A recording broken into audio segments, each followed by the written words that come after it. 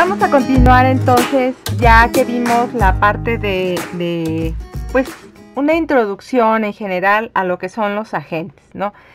Vamos a ver, eh, eh, pues, ¿qué, podemos hacer, eh, para qué se usan, qué ventajas nos ofrece estudiar agentes y, pues, hacer algún tipo de sistema basado en agentes. Existen pues muchas plataformas, tanto para el desarrollo de agentes, agentes de software, como para la simulación y modelado basado en agentes. Entonces, vamos a ver eso. En particular, vamos a utilizar este AnyLogic. Estuve buscando, ¿no? Como para hacer una práctica que no fuera muy complicada y que, sea bastante eh, evidente ¿Cuál es el propósito de, tener agentes?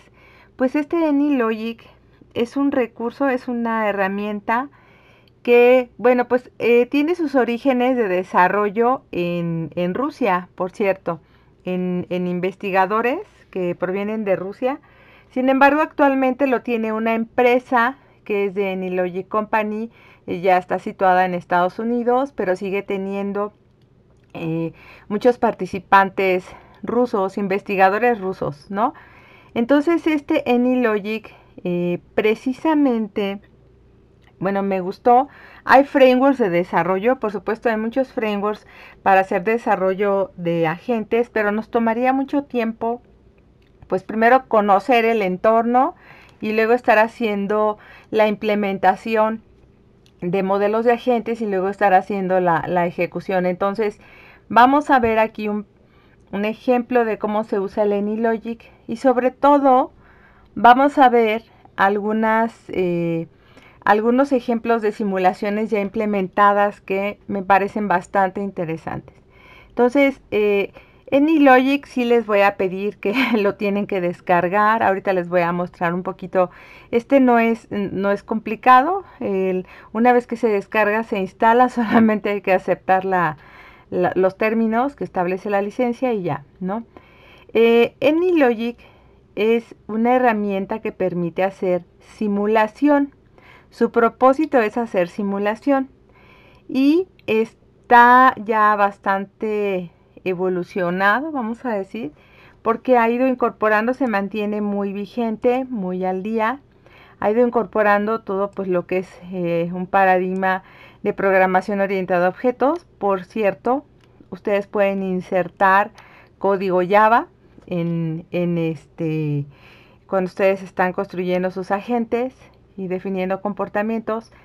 También tiene eh, el uso de el lenguaje de modelado unificado, sobre todo pues para la representación de procesos o diagramas de secuencia. También tiene lo que son los diagramas de estados. Entonces eh, está eh, dentro de este sistema, de esta herramienta, pues ustedes van a ver ya cosas conocidas, ¿no?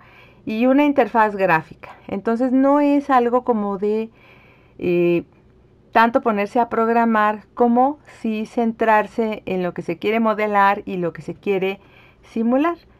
Este, bueno, ahorita les daré las referencias que necesitan. Hay un libro, un libro de, para hacer ejemplos de AnyLogic. Hay dos libros, pero uno es para aprender a usarlo en tres días y el otro pues es más, más amplio, ¿no?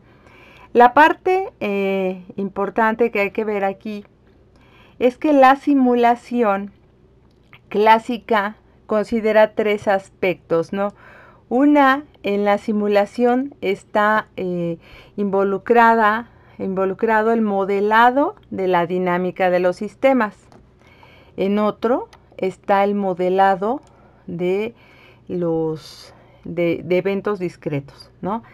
Y por supuesto está la parte de el modelado basado en agentes que es interesante este, para nuestro curso. Ahora, en muchos escenarios están los tres, ¿no? Las tres perspectivas. Entonces, hoy vamos a hacer un pequeño ejemplo de cómo funciona, cómo se crea una simulación y cómo se define un tipo de, agente, un conjunto de agentes, ¿no? Entonces, primero en, en, en este, pues retoma esta filosofía del modelado basado en agentes, que tiene una ventaja importante, que mediante el modelado y la simulación se pueden estudiar y representar problemas del mundo real que a veces no es posible este, pues estar eh, haciendo experimentos con los problemas reales. Eh, los problemas reales, por ejemplo, si son de salud, pues es muy complicado, ¿no? Que ustedes estén haciendo ahí experimentos eh, para saber, no sé, una tasa de mortalidad o predecir cuándo se van a, a contagiar personas, etcétera. O sea, hay una serie de situaciones de la vida real que es mejor echarlas a andar en simulaciones, ¿no? Entonces, cuando no es posible experimentar con objetos del mundo real, entonces es, es muy bueno contar con herramientas que permitan simularlo. Entonces, aquí vamos a ver cómo el AnyLogic eh, pues es todo un conjunto de recursos a través de los cuales se pueden construir agentes y los agentes van a representar lo que ustedes quieran, ¿no?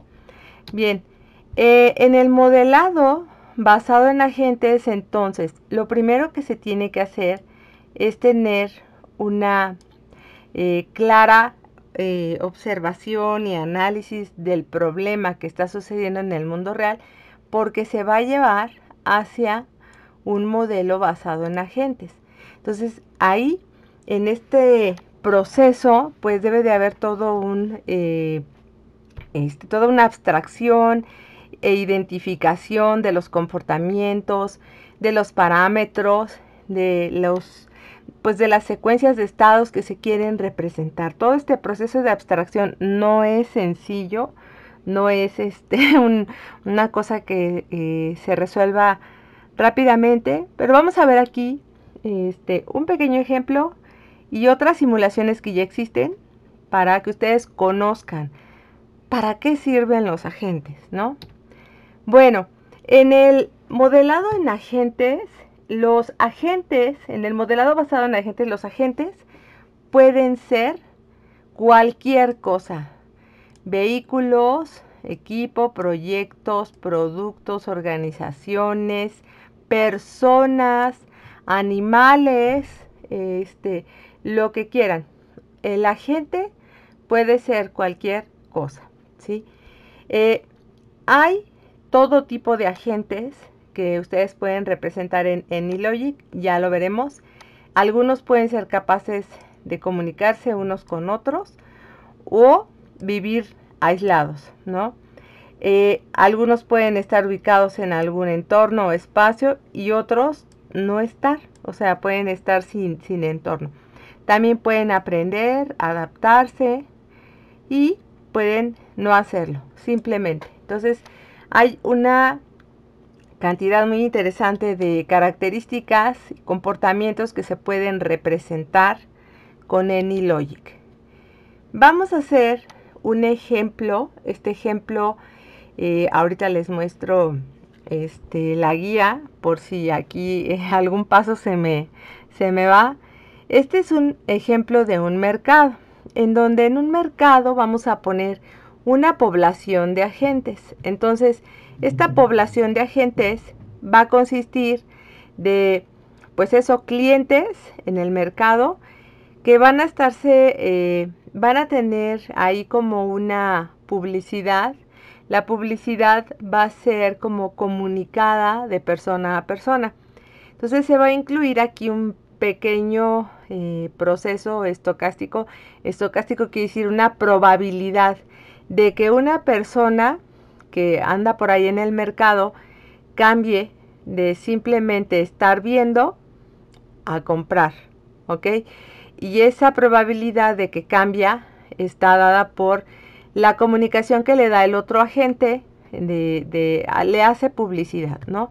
Entonces, este modelo de mercado va a contar con agentes que son van a ser clientes en el que cada este, cliente pues es eh, capaz de comunicarle a otro este, publicidad. Entonces vamos a utilizar un parámetro que se llama efectividad de la publicidad para que un agente cambie de ser un cliente potencial a ser realmente un, ya ahora sí, un consumidor, ¿no? Entonces, este, bueno, vamos a poner 5000 personas. Este ejemplo, tal como lo vamos a hacer aquí, viene en una guía que ahora mismo les voy a, mostrar, ¿ok? Entonces, vamos a, verlo. Ahorita, este, esta es la vista del AnyLogic, una vez que ustedes lo instalan. Eh, vamos a ver que tiene tres secciones. Tiene esta sección, todo esto de acá es una sección en donde ustedes pueden navegar en las características del proyecto y una paleta que tiene herramientas, ¿no? En la parte intermedia pues está toda la el, editor gráfico, como ven aquí casi no van a poner ustedes código, van a poner eh, elementos tanto de diagramas, de flujos, etcétera. Eh, solo haremos un ejemplo muy sencillo, ¿no? Y del lado derecho pues está la sección de las propiedades, ¿ok? Entonces, eh, no está eh, tan difícil, realmente se parece un poquito a los entornos clásicos como el Eclipse para hacer la configuración y ejecución de una simulación. Entonces, este, Bien, vamos a ver esto. Permítanme. Eh, primero, el AnyLogic, ¿no? Eh, ustedes lo van a descargar. AnyLogic, eh, pues existe la página, así tal cual. AnyLogic no, no es difícil.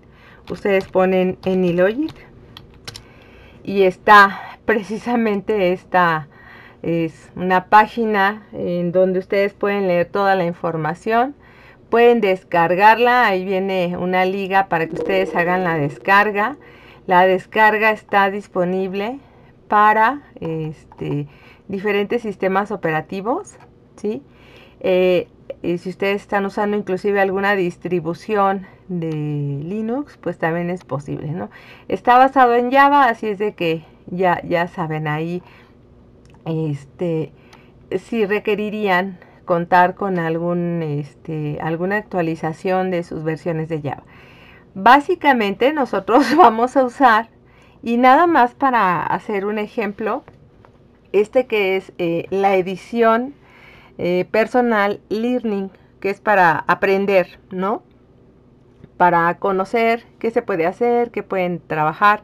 También existen otros que son para este, investigadores y pues el profesional, ¿ok? Y el profesional pues ese sí tiene un costo. Todos los anteriores tienen este, el, el que es para aprender, es completamente gratis.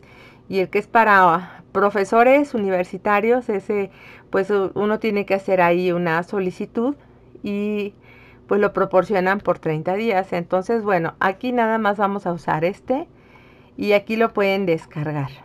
Ok. Adicionalmente, dentro de, este, eh, de esta página, ustedes van a poder encontrar en los recursos, se encuentran, bueno, además de eh, otra información, desde artículos, este, videos, blogs, etcétera, están los libros. Y yo les recomiendo de estos libros, pues hay, están estos dos, este, bueno, hay más que estos dos, pero todos estos ustedes los pueden solicitar. Sin embargo, este que dice Any Logic in 3 days, ¿ok? Eh, aquí este, yo, yo solicité, esto no se puede andar copiando y enviando, ¿no? Pero ustedes lo pueden solicitar, nada más tienen que dar sus datos. Y este, para tres días, pues es este, ya lo tengo yo aquí descargado. Está sencillo, este, Ustedes pueden seguir, vean, esta es una versión ya 2021. Está muy actualizada la herramienta.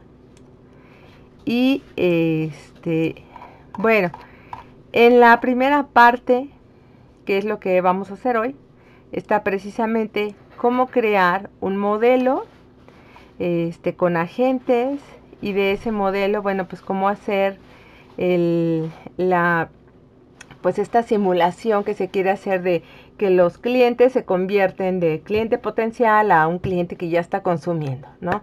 Esta es la parte que vamos a ver y luego ya vamos a ver unas simulaciones que ya existen que están muy, muy interesantes. Entonces, cada vez que ustedes lo abren, eh, hay una página, hay una como bienvenida, ¿no? Que tiene con recursos muy buenos que me parecen muy interesantes para que ustedes puedan navegar entre los ejemplos. Aquí está. Entre todos los ejemplos que hay, es este. Hay tutoriales, si ustedes están interesados en hacer algo más que, que este ejemplo que vamos a hacer, tutoriales, videos, webinars.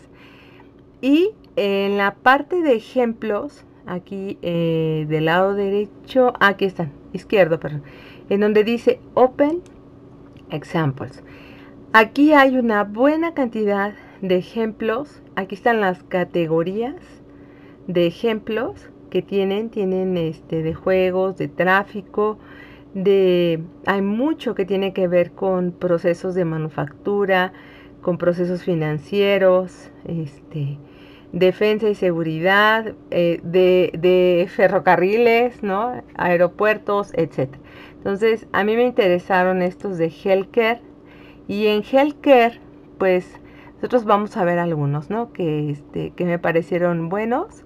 Entonces aquí están, este, ustedes pueden ver cualquiera que les interese, simplemente le dan clic, lo abren y habrá que ejecutarlo. ¿ok? Entonces esto es eh, pues una buena forma de darse idea de qué tipos de simulaciones se han realizado con esta herramienta. Bien, nosotros aquí vamos a empezar, vamos a hacer un nuevo modelo para este propósito de hacer un mercado. Es un mercado con clientes y lo único que se va a observar aquí es que los clientes unos este, no están comprando y los que ya están comprando, entonces le comunican a los que no para que compren. Vamos a crear aquí un nuevo modelo. Vean, nada más hay que hacer esto de New Model. En el modelo le vamos a poner este un nombre. Este nombre le voy a poner aquí simulación mercado nada más. Y aquí en el tiempo, eh, las unidades en el tiempo las vamos a manejar en las unidades del tiempo en la simulación es importante porque este pues depende de lo que quieren modelar es lo que van a, ustedes van a determinar el tiempo cómo corre o cómo transcurre para este ejemplo van a ser días y al final también se tiene que hacer una configuración de estas unidades este, hacia días, ok, ya se los pongo.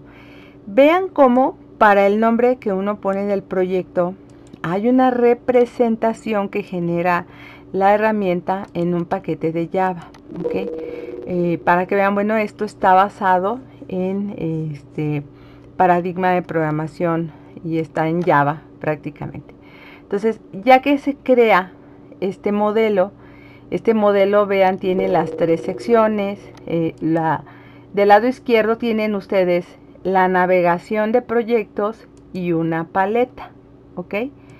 La paleta, por supuesto, eh, si se fijan del lado izquierdo, tiene una serie de recursos este, en una barra vertical y del lado derecho pues ya los tipos, ¿no? Una serie de cosas que están ahí.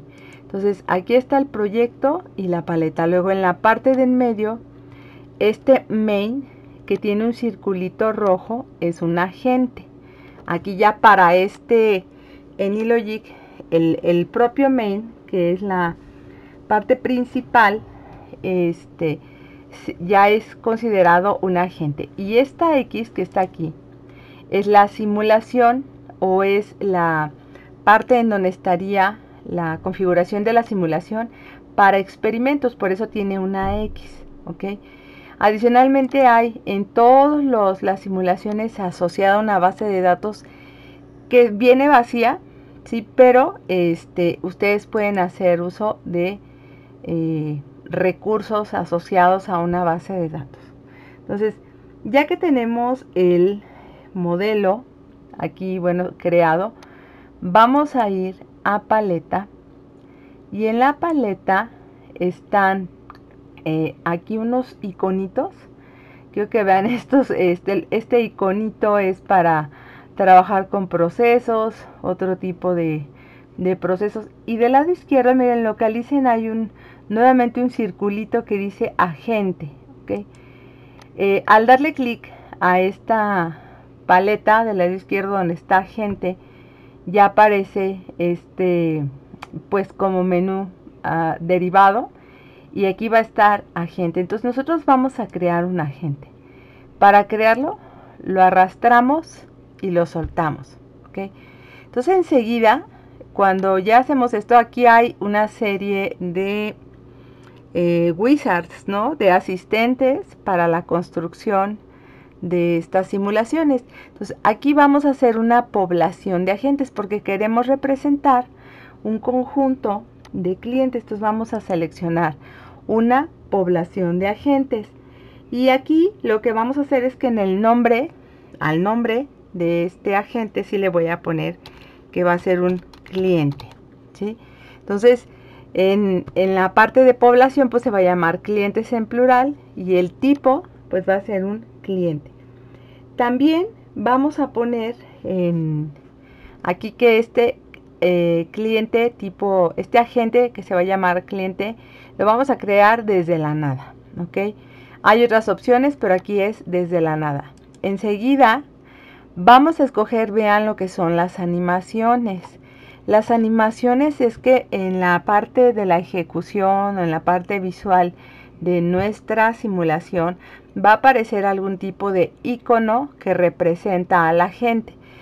Aquí voy a escoger iconos tipo 2D. Vean, hay una buena cantidad de iconos ustedes pueden usar para representar sus agentes.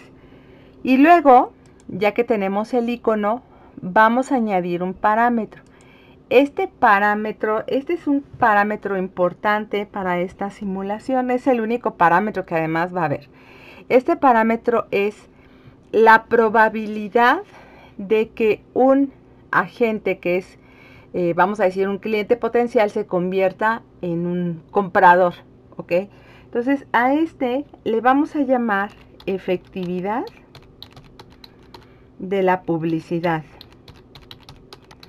o efectividad de la comunicación. Y en esta efectividad de la publicidad, pues vamos a poner un valor de tipo doble. Y como ustedes van a ver aquí, dice especificar el valor o una expresión estocástica. Aquí se pueden hacer muchas cosas respecto a la definición de, eh, pues de valores o de incrementos o de constantes. Se pueden poner hasta fórmulas, ¿no? Aquí nada más vamos a poner que el valor va a ser del 1%. Para poner un 1% vamos a poner 0.01. Ese va a ser el valor que vamos a manejar de tipo doble para decir la efectividad de la publicidad. La efectividad es de la probabilidad de que mediante la comunicación entre agentes eh, un comprado, un cliente potencial se convierta en comprador es del 1%, ¿ok? Entonces aquí ya que hicimos esto, vamos a poner cuántos agentes va a tener nuestra población. Les dije que son 5000, así viene exactamente en el ejemplo. Entonces vamos a poner aquí 5000 agentes, que realmente son muchísimos. y luego, en siguiente, vamos a ver el entorno. Este tipo de agente va a vivir en un entorno y este entorno simplemente le vamos a dejar el tamaño. Este es el tamaño que va a aparecer en la simulación. Es como un recuadro del el entorno en el que va a estar, ¿ok? Y esta parte del el Apply Random Layut es eh, para que se distribuyan esos 5000 agentes dentro de este espacio. Vamos a decir que este es el como el mercado, ¿no? Y vean aquí, eh, en las simulaciones que vamos a ver más adelante, les voy a mostrar cómo se hacen redes de agentes o, cómo se usan, ¿no? Porque aquí no van a ser agentes que están conectados en red pero existen simulaciones mediante las cuales nosotros eh, es muy útil contar con redes de agentes.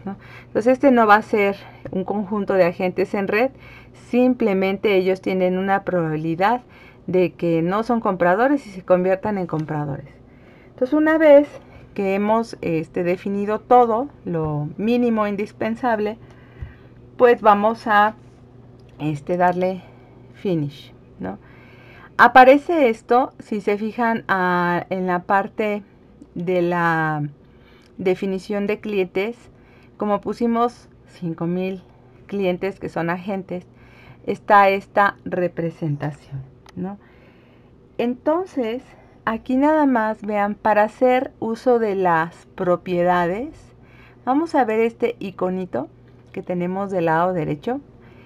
Este, eh, la representación que pusimos para cada agente, solamente le vamos a poner una característica de que se haga el dibujo del conjunto de agentes se distribuya en, el área. Entonces este es eh, dibujar un agente de acuerdo a una posición ubicada en un espacio. ¿No? Los agentes serán visibles. Hay otros otros tipos de simulaciones donde pueden aparecer y desaparecer, por ejemplo, este, etcétera. hay muchas, muchas simulaciones muy buenas y muy interesantes. Entonces, vean, aquí nosotros ya podemos, ya tenemos esto, ya podemos hacer una simulación. Me voy aquí al proyecto, esta simulación del mercado. Lo único que ahorita me va a hacer es que debería de verse eh, la ejecución de la simulación, donde van a aparecer 5000 clientes. ¿ok? Para hacer una simulación, vean, está este botoncito que es como la ejecución en cualquier entorno de desarrollo, que es para hacer una ejecución. O también aquí en modelo, ustedes pueden hacer la construcción y la ejecución. Siempre es correcto que hagan una construcción este como es una cosa muy sencilla no va a tener problemas. Y luego una ejecución de esta simulación. Entonces vamos a ver si salen los 5000 clientes, si hice todo correctamente. Aquí vamos a tener una visualización de lo que es la, la, simulación. Y bueno, pues ahí están los 5000 clientes, ¿no? Este es el espacio definido, la distribución de los 5000, como ustedes se dan cuenta, esas cosas que pusimos acerca de la ayud y de que se dibujaran los agentes con respecto a un punto, pues era para eso, ¿ok? Entonces ya está en, vamos a decir en ejecución, si se fijan aquí abajo dice el running, lo vamos a detener con el stop y simplemente lo cierro, ¿ok? Entonces esto es para definir los agentes que nosotros queremos que aquí aparezcan. Ahora, para crear, ahora sí, un eh, establecer. Un comportamiento de la gente en donde queremos hacer esta simulación, vamos a hacer uso de un state chart. Y los state charts, pues van a estar en este, esta sección Vamos aquí a la, sección, estamos aquí en proyectos y nos vamos a ir a la paleta, ¿sí? Pero tenemos que estar eh, precisamente en la sección, vean, este es un cliente que es el main, pero necesitamos el comportamiento que va a tener el agente, se debe configurar y realizar desde la eh, pues la parte interna del cliente, que este es el tipo de agente definido. Entonces este lo vamos a abrir. Vean, ya tenemos la opción de trabajar con el agente que es el main y también la posibilidad de trabajar con el cliente. Y como se darán cuenta, aquí en el agente tipo cliente ya nos aparece este parámetro que es la efectividad de la publicidad, que fue definida desde que creamos el, el proyecto, ¿no? Bueno, entonces, estando aquí en el cliente, no en el main, sino en el cliente, vamos a la paleta y en la paleta hay otro icono que es el icono de State Chart, ¿ok? Entonces, en State Chart, pues no hay muchos iconos aquí. Esto de hacer un diagrama de estados es, es, sencillo en el sentido de el conjunto de elementos que se tienen. Lo que vamos a poner primero es un entry point, ¿ok? Este State Chart entry point, hagan de cuenta que es el inicio, ¿ok? Este es un inicio, le podemos poner aquí un nombre, inicio, es lo que va a tener o va a este, realizar este agente. O sea, este va a ser como su modelo interno para que sucedan cambios en su comportamiento. Este inicio, este state chart está en rojito porque necesita tener conexiones, o sea, necesita tener una secuencia correcta para un diagrama de estados. Entonces, ya que tenemos el entry point, que es el inicio, voy a seleccionar un estado y vean, lo arrastro y se lo conecto. ¿Cómo sé que se conecta? Porque se pone verde ese puntito, ¿no? Entonces en este estado le vamos a poner el nombre.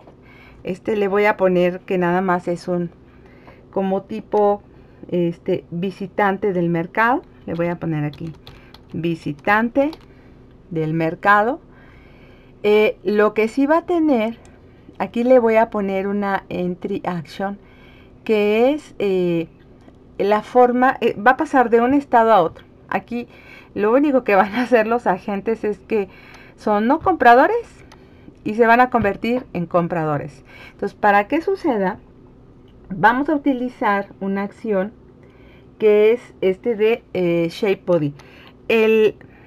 Aquí hay unas herramientitas que tienen como sugerencias. Aquí en el Entry Action, si ponen el control barra espaciadora, eh, ahí está, de forma lenta, pero ahí está, aparecen una serie de eh, posibilidades que ustedes pueden usar. Vean, son entre funciones, este, opciones para que ustedes ya, eh, que ya están programadas, que ustedes pueden simplemente modificar, agregar, hacer cosas. Entonces aquí, el Shape Body, este es este, un atributo que tiene este state chart y que es modificable. ¿sí? El shape body es el atributo.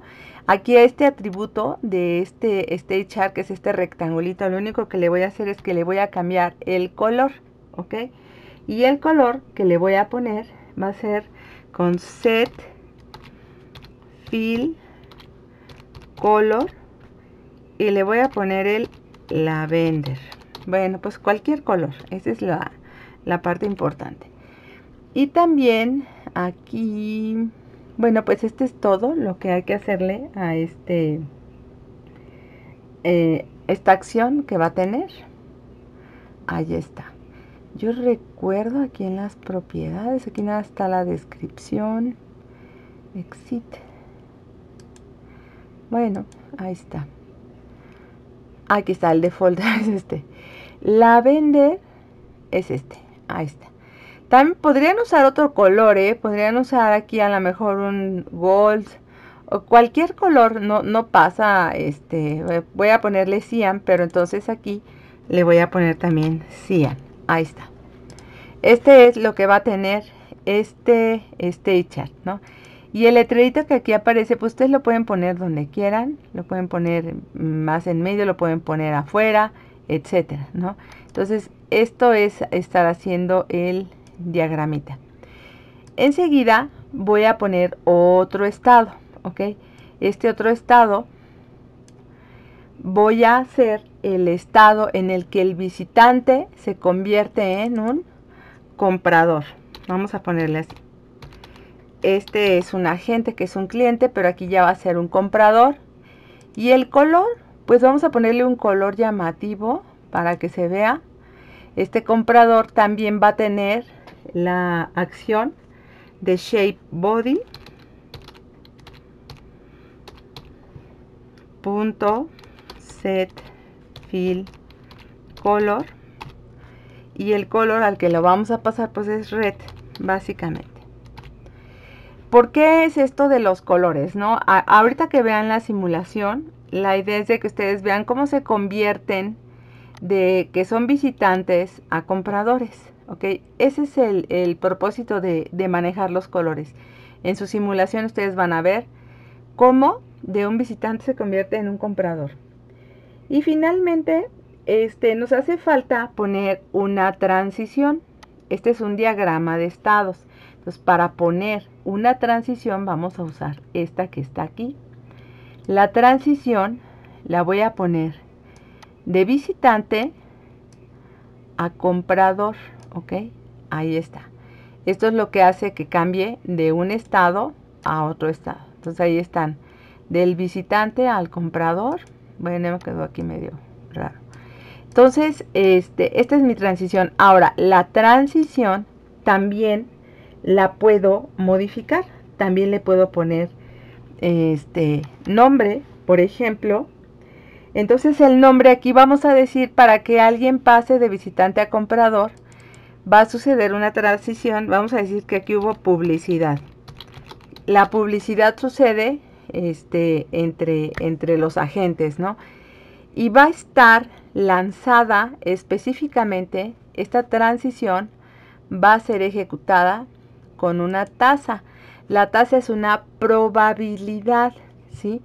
Esta probabilidad que nosotros tenemos aquí debe de ser la probabilidad que sucede en la, en la efectividad de la publicidad. Entonces, la probabilidad, esta que está aquí, vamos a poner esta variable que se llama, este parámetro, efectividad publicidad. Si esta efectividad publicidad es básicamente el porcentaje del 1% que va a hacer que esto se lance por día, ¿ok? Entonces ahí está también nuevamente la temporalidad en la que esta eh, publicidad puede suceder utilizando un parámetro ya preestablecido, ¿ok? Una vez que ya está este diagrama de estados, ¿no? En donde tenemos el inicio de visitante a comprador. Finalmente, este, vamos a cambiar la parte del eh, el modelo, en el, el, modelado del mercado, que es la última parte que es importante. Me voy aquí a proyectos.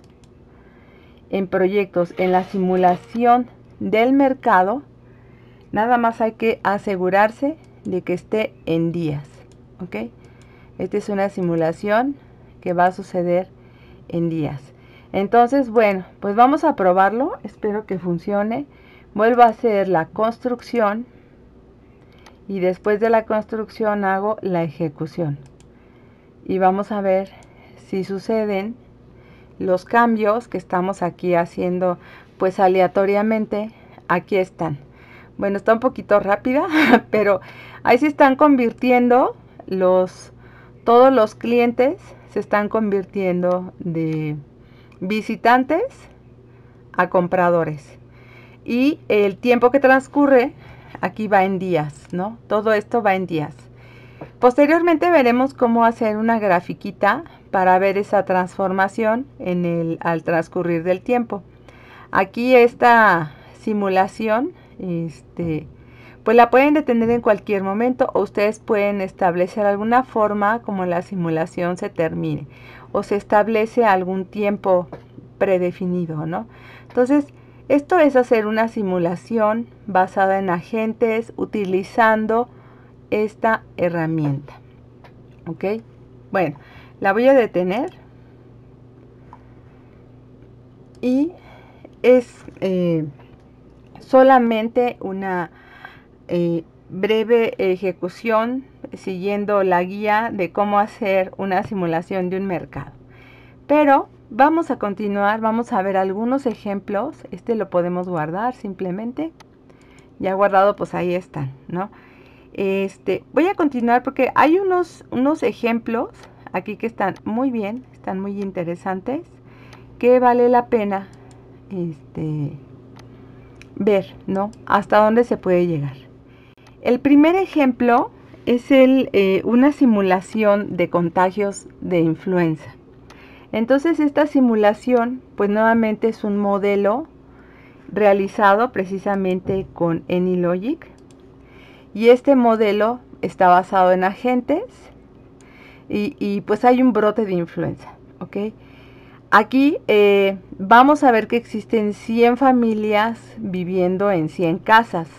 El ambiente está construido de tal manera que hay 100 casas y cada casa tiene de 2 a 5 miembros de la familia.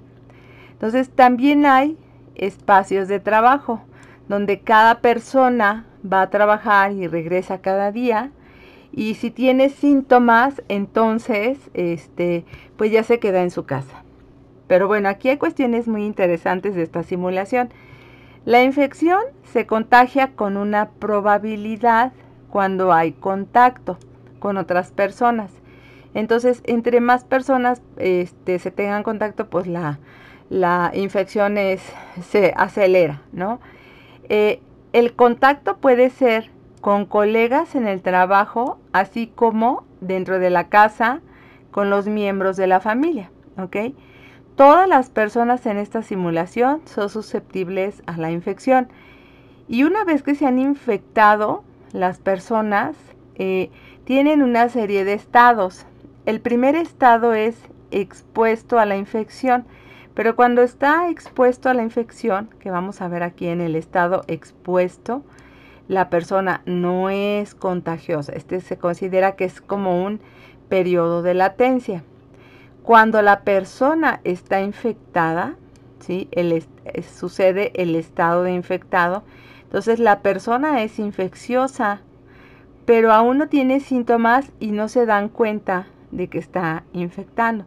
Así que continúa trabajando y a este se le conoce como periodo de incubación. Y luego está el otro estado, que es cuando presenta síntomas y cuando la persona siente y, se percata de que tiene síntomas, entonces ya ahora sí se queda en casa, deja de ir a trabajar. Y finalmente hay uno que es el estado de inmunidad. Cuando hay un estado de inmunidad, entonces, este, pues ya termina, ¿no? Eh, nuevamente van a ver aquí los colores. Ahora, los colores no, los, no son en las personas, van a ver unas bolitas cambian de color según el estado en el que se encuentran.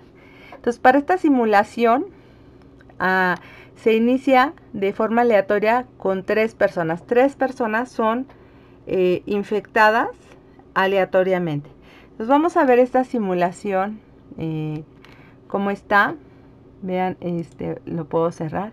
Si ustedes eh, este, ya entraron aquí al AnyLogic y quieren ver estos ejemplos, aquí en Help está esto de Example Models y ustedes pueden abrir nuevamente esta parte de los ejemplos y voy a abrir este de la influenza.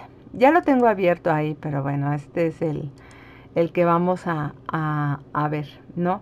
Entonces este es el de la influenza, vean, aquí ya está bastante configurado todo lo que lleva el main.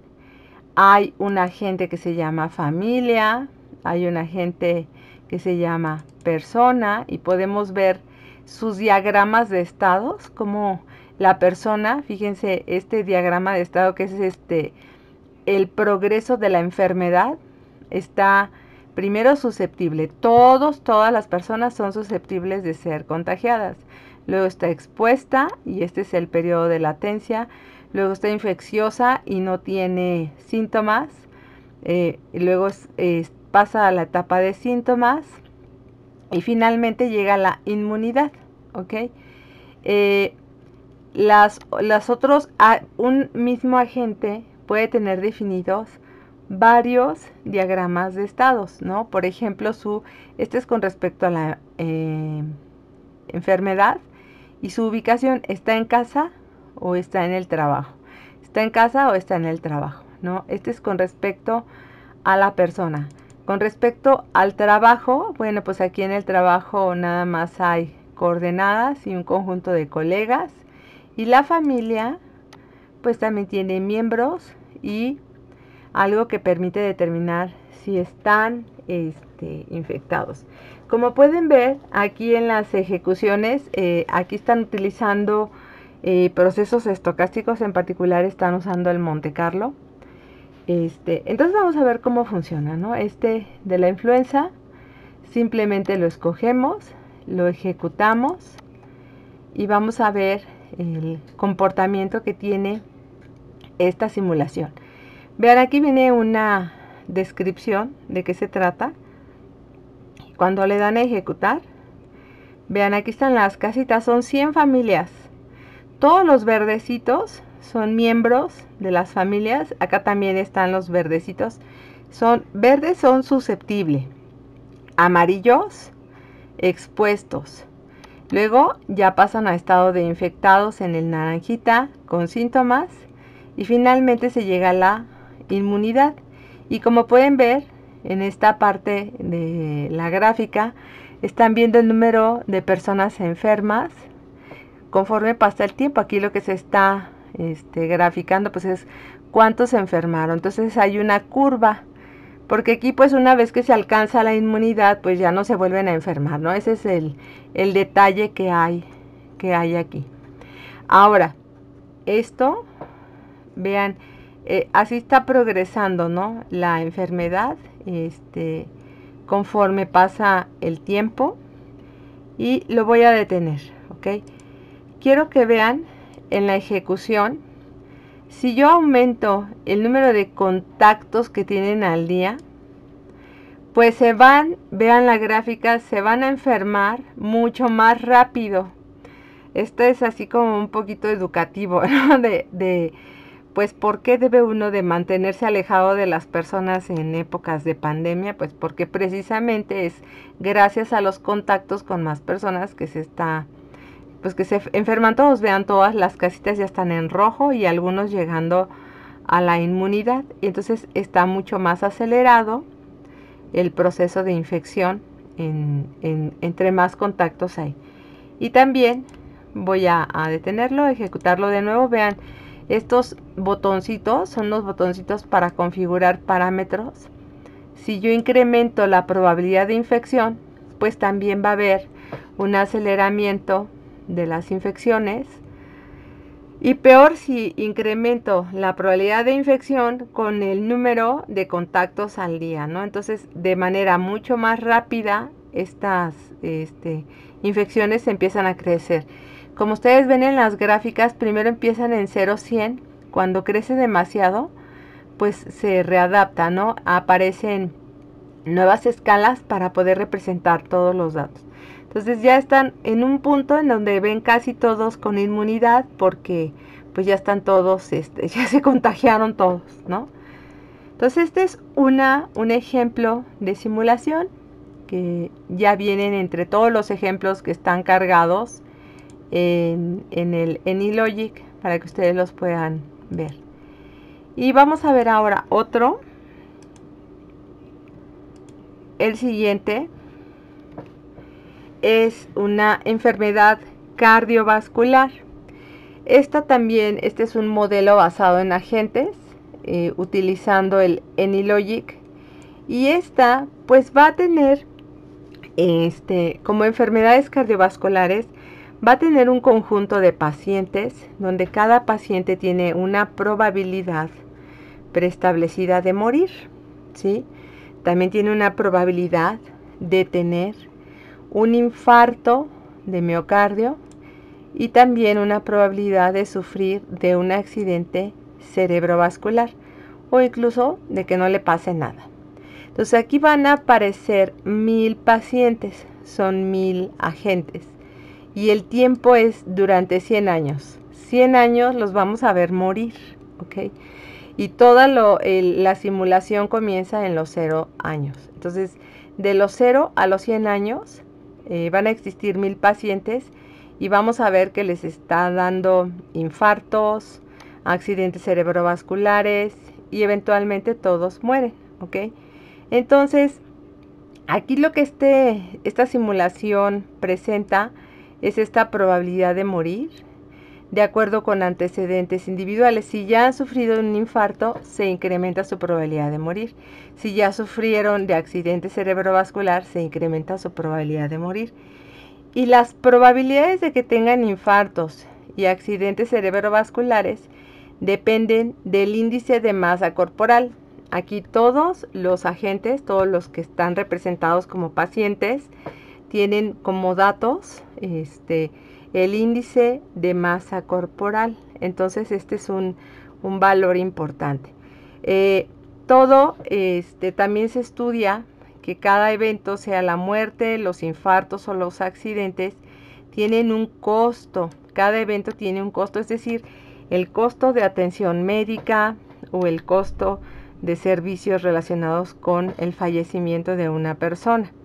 Y también hay un costo general que cada año sucede por las atenciones médicas que tienen las personas. Entonces vamos a ver aquí también este, estadísticas de la esperanza de vida, la distribución de la edad, la distribución de, bueno, pues cuánto vivieron, eh, la distribución en que, eh, con respecto al infarto al miocardio y a los accidentes cerebrovasculares. Entonces, vamos a ver esta simulación aquí. Y este, bueno, pues es este cardiovascular que está aquí. Eh, tenemos, bueno, pues tenemos el principal que tiene toda esta configuración. Tiene bastantes gráficas que tienen que ver con la distribución de la expectativa de vida, la distribución de la edad cuando sucede el primer infarto, la distribución de la edad cuando sucede el primer infarto cerebral y el costo, ¿no? ¿Cuánto cuesta la atención médica de eh, todas estas personas? Y van a ver, los pacientes aquí no aparecen como personitas, sino como circulitos, igual que en el otro, que no han tenido ningún, ningún evento este con el amarillito pues un infarto al miocardio, este es un este, accidente cerebrovascular, una combinación de dos también porque hay quienes tienen infarto al miocardio y además accidente cerebrovascular y también está la muerte. Y en el modelo del paciente, bueno pues aquí están eh, los comportamientos, está el parámetro este que les comentaba que es el índice de masa corporal, el BMI, es el índice de masa corporal, que es el, bueno, digamos el más, este, uno de los valores iniciales para determinar las probabilidades de que le den infartos o accidentes cerebrovasculares. Entonces vamos a ver la ejecución de este para que este es el de cardiovascular. Ahí está. Para que vean cómo, cómo sucede. Nuevamente aquí aparece una descripción de toda la simulación y en el, con la ejecución pues vamos a ver. Aquí están todos los pacientes. Ustedes le pueden dar clic a cada bolita. Es un paciente. Tiene un identificador y su índice de masa corporal. ¿sí? Esta es una ejecución que va a suceder desde los 0 años hasta los 100. Y como ven, algunos mueren a edad muy temprana. Este a los 12 años, a los 18 años, hay por ahí unas muertes así como de muerte juvenil, ¿no? Estos rojos, por ejemplo, han empezado a tener accidente cerebrovascular, los rojos. Este stroke es el accidente, este es un infarto al miocardio. A los 23 años ya tuvo su infarto al, al miocardio. Está un poquito exagerado, ¿no? Porque sí están muy jóvenes los que están teniendo. Este ya tuvo un infarto, este, un accidente cerebrovascular y un infarto al miocardio, ¿no? Y vean, ya empieza a ver muertos, en que, a qué edad mueren. Vean. Entonces, esto, bueno, pues sirve como para hacer una simulación de, vamos a pensar del estado de salud de personas. Aquí empiezan a morir todos. Este, se aceleran las probabilidades de muerte porque como han estado sucediendo infartos y accidentes cerebrovasculares, pues les pasan muchas cosas, ¿no? Como este paciente con un índice de masa corporal de 22 tuvo un eh, accidente cerebrovascular a los 50 años, 54, también tuvo el infarto al miocardio a los 54, un infarto al miocardio después a los 62 y muere en eh, la edad de 63. Entonces están así un poquito fuertes, ¿no? Los, los casos. Este, pero esto es una simulación del estado de salud de una población. Entonces, ah, me parece bastante interesante. Se pueden agregar más características de estilo de vida y, y, un poquito más realistas. Yo creo que este está así como muy fuerte tener tantos infartos y a tan temprana edad. Entonces, en la parte de las gráficas tenemos aquí distribuciones de expectativa de vida. Vean alrededor de los 60 años, este, pues es la, mayoría, está en los 60 años. Muy pocos llegaron a los 80 años, yo creo que por escasamente superaron los 70. También la edad en la que da el primer infarto está antes de los 60 la edad en la que da el primer accidente cerebrovascular antes de los 60, el costo, vean, va creciendo conforme la población aumenta su edad entre los 40 y los 60 años y luego pues ya se hace constante, ¿no? Y la forma como suceden los eventos en esta gráfica pues tenemos en el lado azul que no ha sucedido nada, ¿no? Y posteriormente empiezan a haber este, infartos al miocardio, accidente cerebrovascular, este de acá, este que sigue, es una combinación. O sea, que tengan los dos eventos y finalmente pues toda la población muere, ¿no? Como está en un periodo de 0 a 100 años, pues claro, estamos aquí haciendo una simulación de, de, de cómo se van a morir, nada más, ¿no? Pero esta es una razón por la cual es bueno contar con simulaciones habría que hacer este, mejor caracterización de, lo que, de lo que se está representando para hacer simulaciones este, diversas. Bien, por último voy a mostrar otro. Este, yo escogí todos de salud, pero este, eh, bueno, sí va a haber una tarea, ahora sí. Entonces déjenme, les presento el último caso que vamos a ver. Este es el de epidemia, ¿no? Entonces aquí, bueno, nuevamente es otro modelo basado en agentes donde los pacientes pues son susceptibles a una infección y también a recuperarse, ¿ok? Entonces aquí la, la cuestión que se modela en este ejemplo, aparte quiero que vean la visualización, está bastante interesante. Aquí sí hay agentes conectados en red, y la red, pues vamos a decir que son redes eh, que precisamente contagian, es cercanía de las personas, ¿ok? Una vez que una persona eh, comienza, aquí se modela la preocupación de los pacientes. Eh, pueden estar infectados, pero hasta que no crece su preocupación por los síntomas que tienen, no van al médico. ¿ok? Entonces, cuando ya tienen una preocupación que supera un umbral, es esto lo que se observa, la preocupación, entonces van a la clínica a recibir atención. Y aquí ya van a ver, en este modelo basado en agentes, una parte de lo que es el System Dynamics, que es el modelado de la dinámica del sistema y también el modelado de eventos discretos. Aquí están este, usando los tres enfoques de modelado basado en agentes, dinámica de sistemas y eventos discretos para hacer esta simulación de cómo la clínica puede llegar a verse estresada con respecto a la cantidad de personas que empiezan a asistir, a, solicitar atención. Entonces vamos a ver esta, esta de la simulación de la clínica y el contagio es esta epidemia con atención clínica y una preocupación este, asociada, ¿no? Entonces aquí, bueno, pues está el main.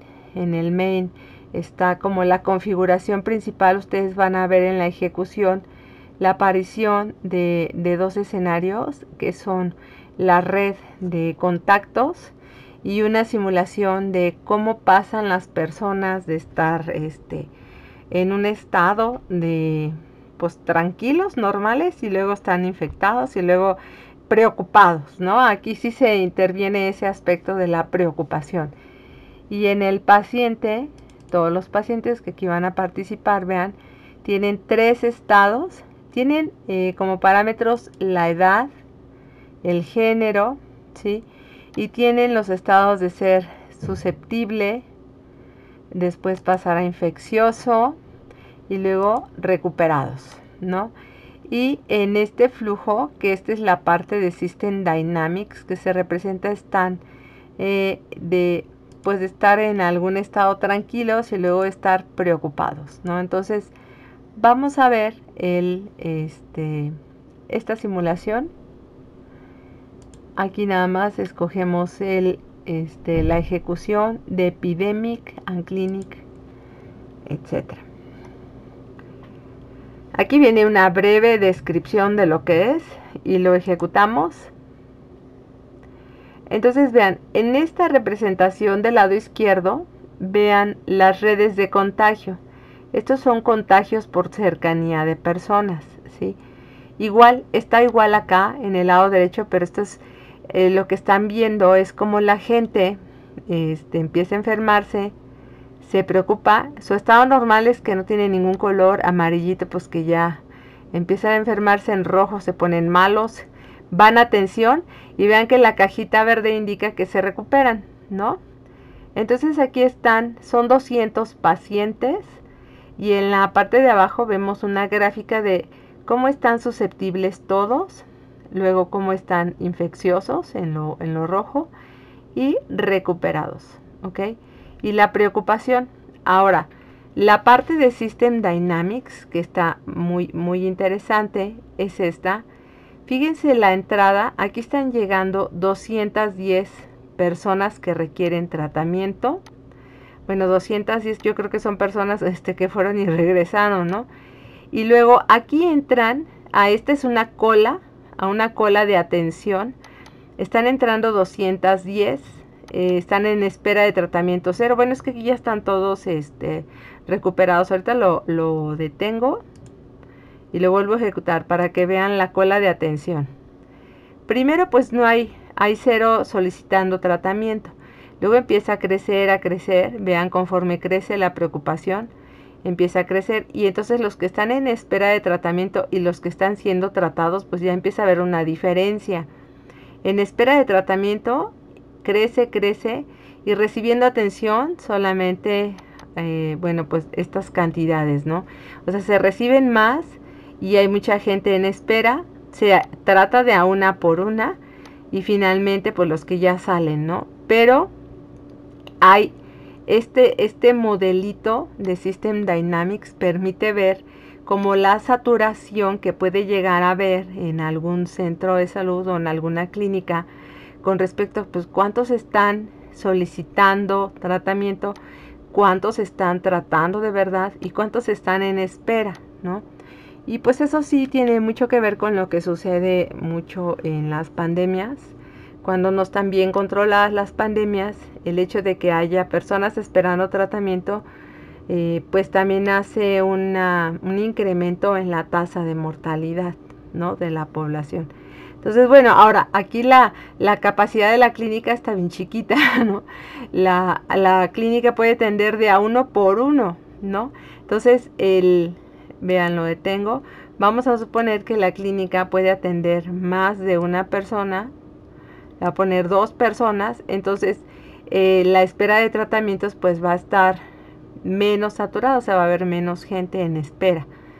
Conforme haya más capacidad, pues es es mejor la, el proceso de atención de personas. Entonces, en esta simulación se están involucrando ya este, contagios ¿no? entre personas por su contacto con, con, los, con otras personas, por su cercanía con personas y también se está representando la atención que se da en en las clínicas. ¿ok? Bien, entonces les comentaba, este es el tercero. Ustedes pueden ver, hay muchísimos aquí en, ayuda. Hay este, varios ejemplos que pueden observar, que pueden este, revisar. Hay de más tipos, este, pues de entrada ah, de, de, bancos también hay por ahí, de, de, tráfico, de, hay de muchos tipos. Entonces, y de juegos, por ejemplo, ¿no? Entonces...